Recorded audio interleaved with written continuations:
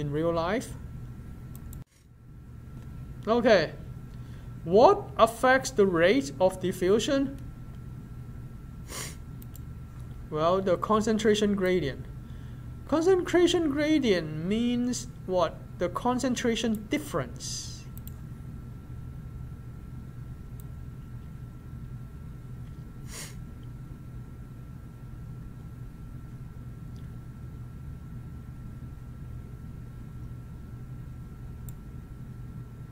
The concentration difference.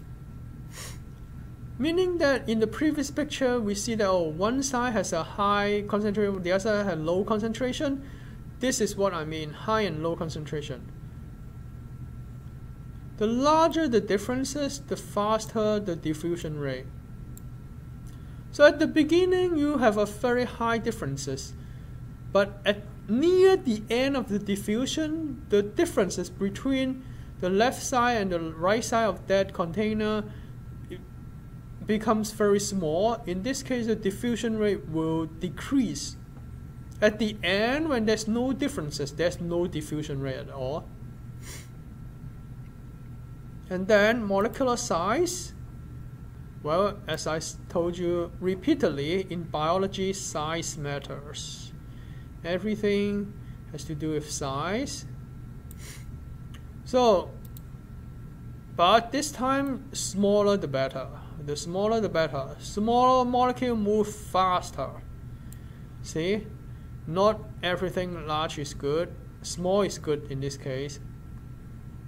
And then uh, we have lipid soluble and water soluble. What does it mean? I already briefly mentioned. Lipid soluble molecule, they can go through the cell membrane. Charged or polar mo molecule, they cannot.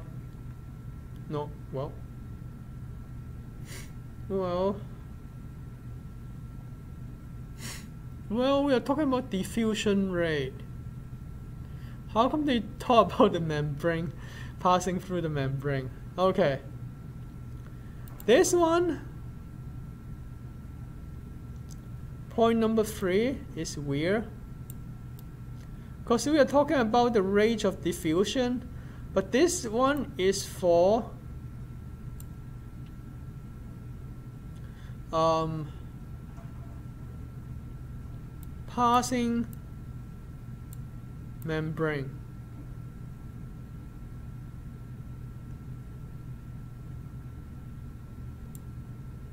Passing the cell membrane.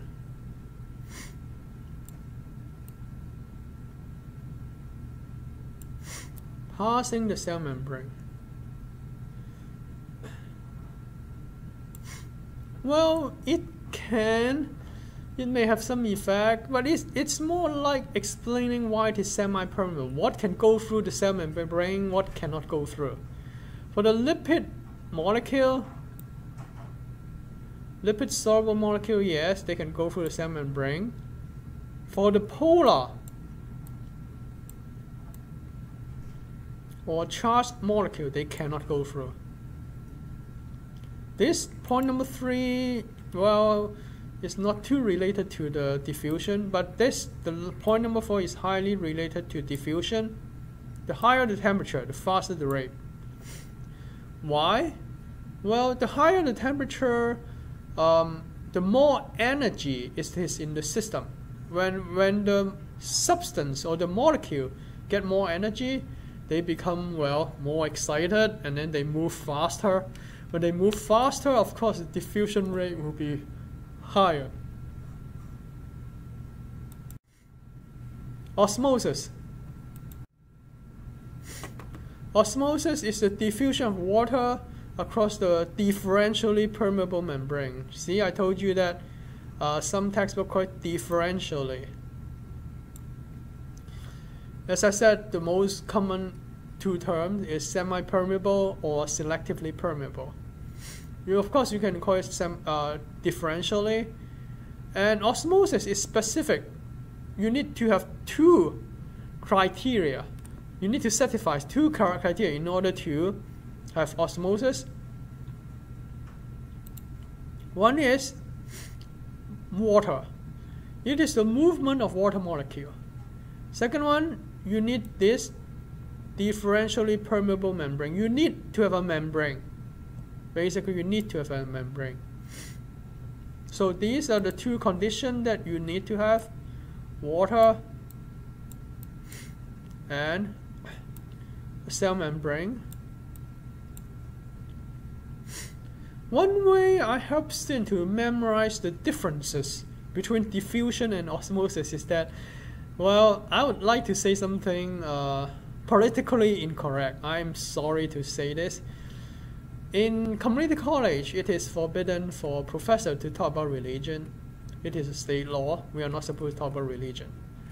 But um, in order to help you to memorize the differences between diffusion and osmosis, I'll tell you an analogy that is related to religion. So, you know that there's a, in certain religion, um, there's a character. The name is Moses, okay? And as you know that what Moses is the most famous for, Moses is famous for parting the Red Sea. That means he's good at moving water. So this is the analogy you have to you have to memorize. Osmosis is the movement of water. Yes, because Moses moved water. Remember this, osmosis moves water. Okay? Diffusion is all other stuff. And also, because we said that osmosis is the diffusion of water, so it follows the same definition of diffusion.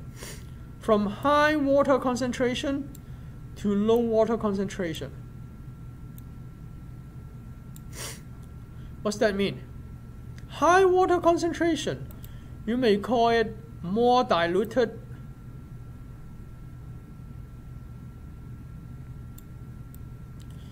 when you have more water, of course it will be more diluted, right?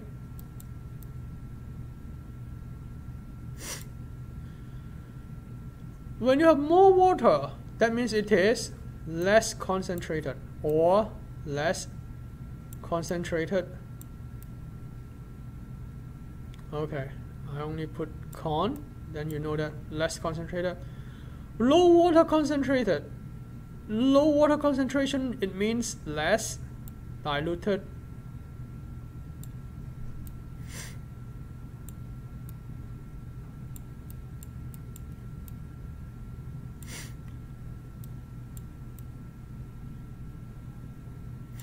or more concentrated. Because you have less water less water concentrated less water concentrated that means it is more concentrated. Okay more concentrated. More concentrated. But remember osmosis movement of water. Remember Moses okay and there's another rule that helps you to memorize water follows salt. What do you mean? When you have a place that has more salt, and we have a place that has less salt, that means you create a concentration differences.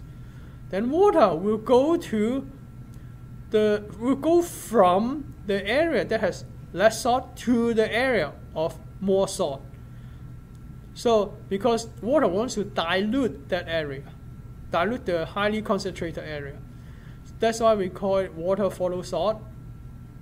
And this actually is the basic principle, the foundation, basic principle of your kidneys.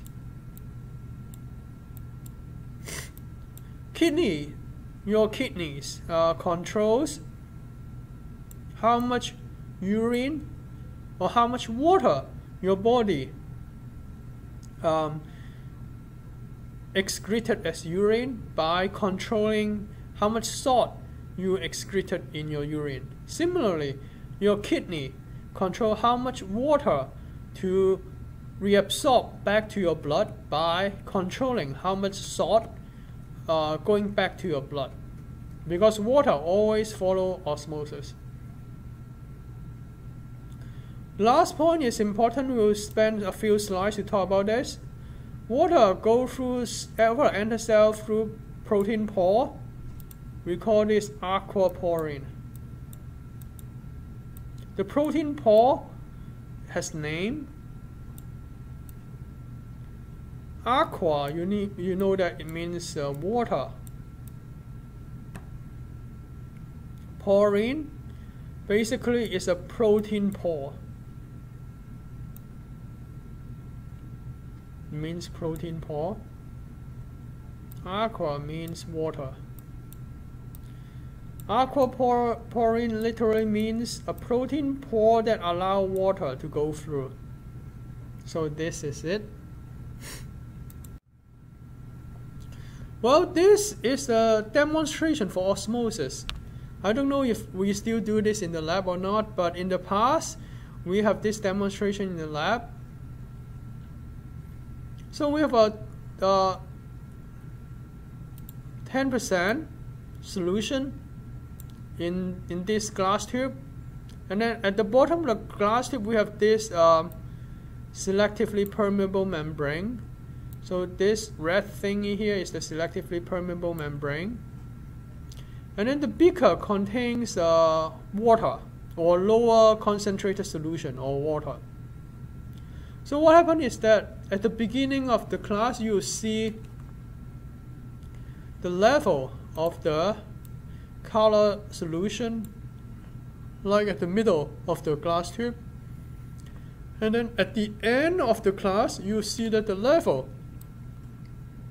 of the color solution increases. It's like magic. Why? Because osmosis occurred during the class time. Water, water molecules, they go from the bottom, the more diluted solution in the beaker to go into the more concentrated solution. So they go from bottom up. When you have more water to go into the uh, this glass tube, then the level, then the level of it, of course, will increase. Will increase, go up. So it just tells you the experiment. Okay, the thistle, or, or, or I just call it glass tube. The thistle is 10% has 10% solution. The beaker has 5% solution. So the thistle is more concentrated. That's why you have osmosis. Water move into the thistle through the selectively permeable membrane by osmosis. So the water column rise and solute the solute solid like the um, molecule in the thistle become more diluted. Why it's less than 10%. So here we talk about putting the animal cell and the plant cell in three different solutions. The first one, it is the isotonic solution. Oops.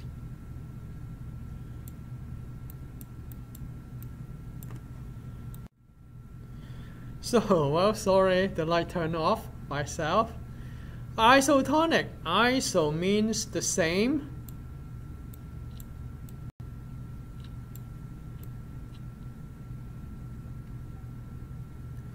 Tonic from the word tonicity.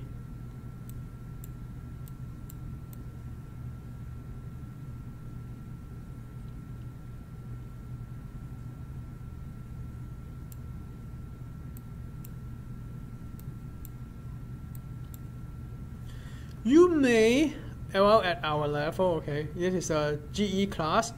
This biology is a GE class, so uh, we have a, I don't demand you to have a 100% scientific uh, accurate uh, definition. Tonicity, you may assume that it's the same as concentration.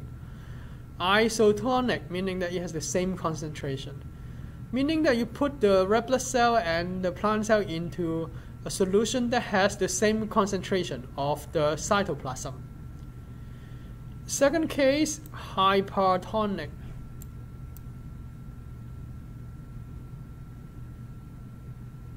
Oh, oh, sorry. Sorry, not hyper, hypotonic.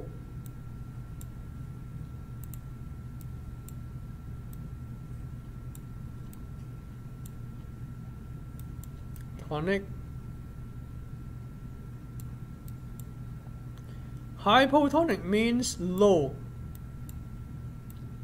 Low concentration solution.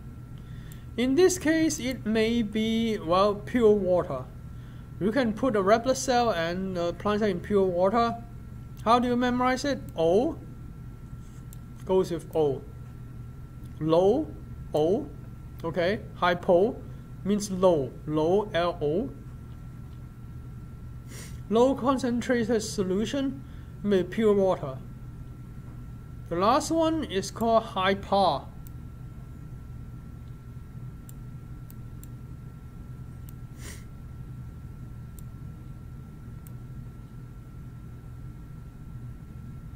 Oops, sorry. Bad handwriting. PER, hypertonic. Hyper means high.